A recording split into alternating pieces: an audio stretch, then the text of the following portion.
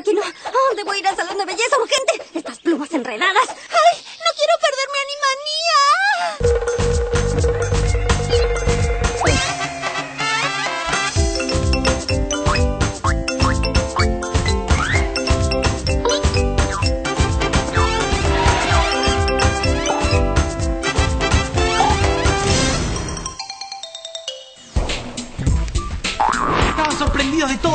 En el programa de Animanía de hoy, por eso es que teníamos primero los avances y después arrancábamos con el programa. Realmente el programa del día de hoy es una locura. Arranca con todo, arranca como si estuviésemos en una motocicleta de velocidad que ponemos primera y apuntamos, vamos directo uh, hacia la caja loca del día de hoy.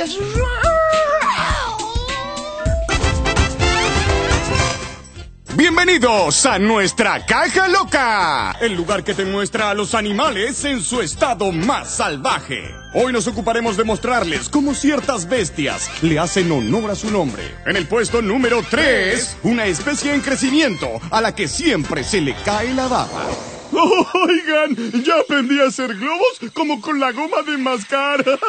¿No es genial? Oh, sí, es más divertido que lanzar un beduino a la arena en mitad del desierto. ¡Escuchen esto!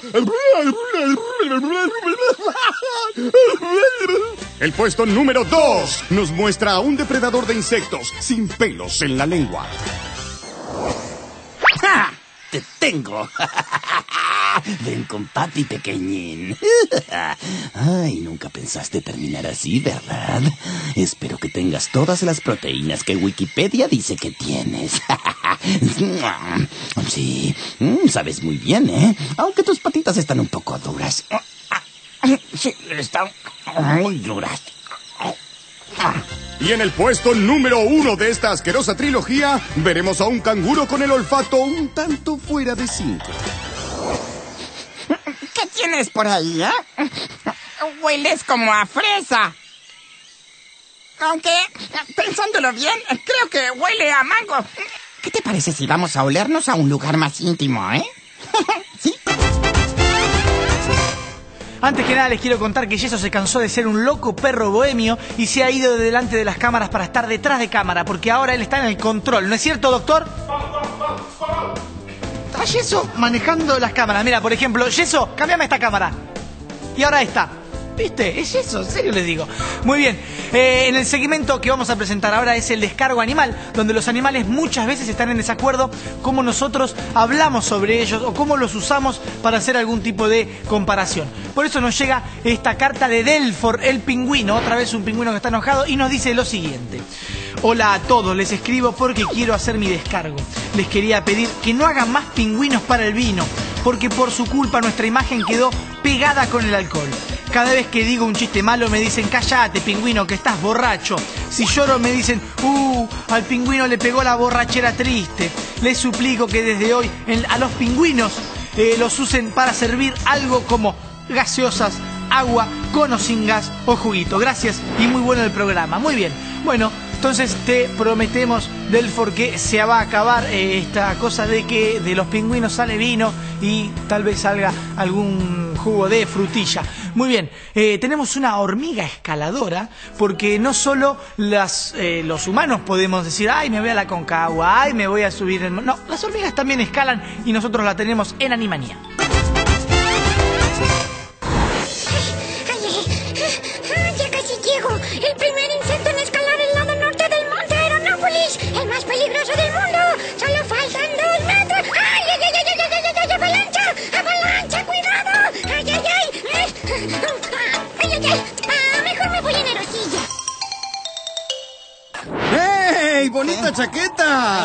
Pelos, ¿eh? ¿Es abrigada? Más o menos. eh. Sí, súper cool, ¿no? Muy original. Linda chaqueta. Escucha, ¿es de algún diseñador? No, ¿Dónde la compraste? mi tía, Oigan, mi- muchachos, miren la chaqueta del enano. No, no ¿Qué les parece, eh? Muy bonita, ¿verdad? Ideal para la próxima temporada invierno-invierno. Te felicito. sí, señor.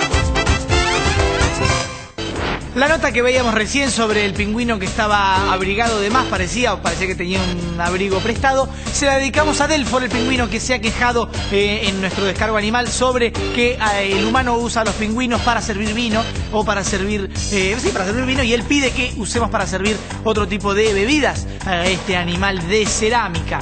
Bien, en Animanía tenemos un montón de animales que parecen que son una cosa, pero en realidad son otra vamos a tener más adelante. Todavía no está preparado para salir a escena. Es un.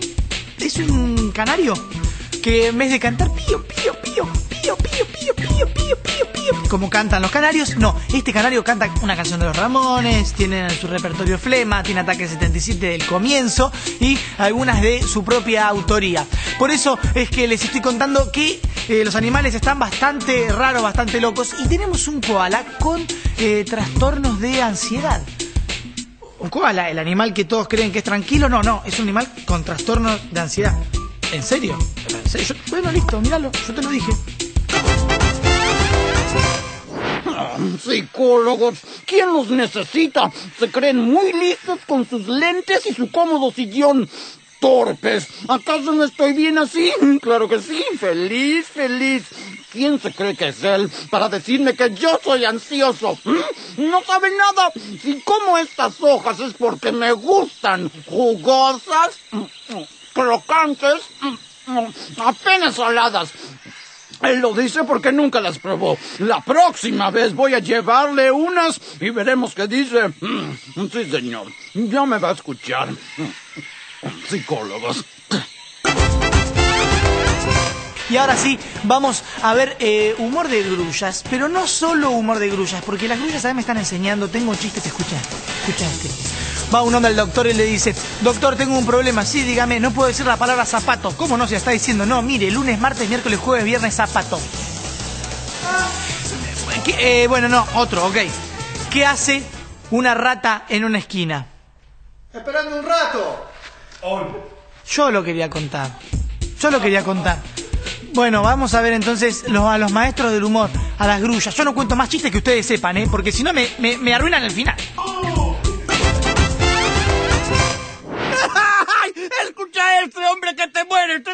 Te mueres. ¿Tú sabes por qué las ovejas siempre chocan entre ellas? No, ¿por qué? Pues porque no ven por dónde van.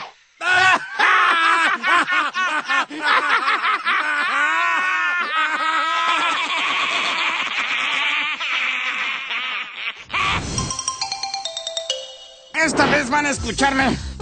Por favor, cállate. Cierra la déjame. boca.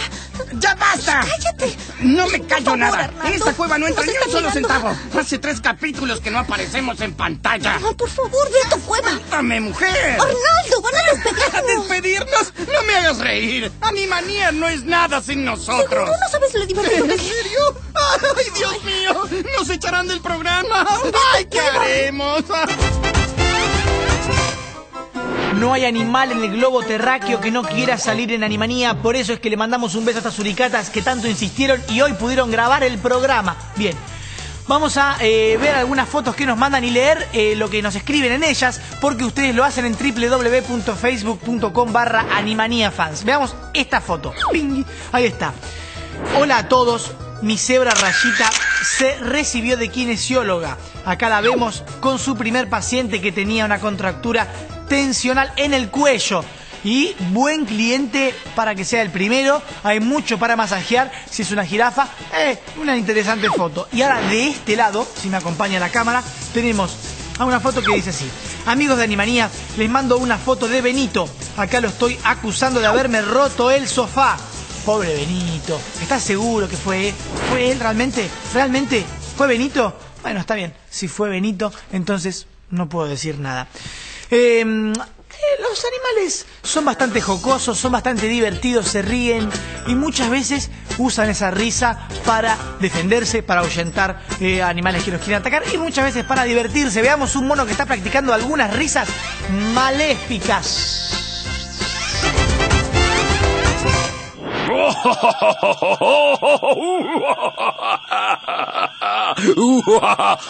Ahí está Charlie de nuevo practicando su risa maligna. Qué mal que lo hace, pobre. Así no asusta a nadie. Yo le voy a enseñar.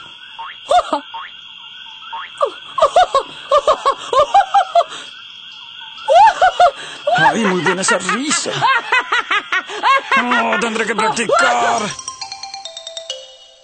Arca presenta su nueva línea de aguas mineralizadas con esencia de cocodrilo filtrada desde su origen por cocodrilos especialmente seleccionados. Siente todo el sabor y la frescura de hidratarte con el exclusivo filtro de boca de cocodrilo y el aporte energético que solo sus cristalinas caries pueden darte. Agua pura y sana. Agua de cocodrilo. Un producto arca.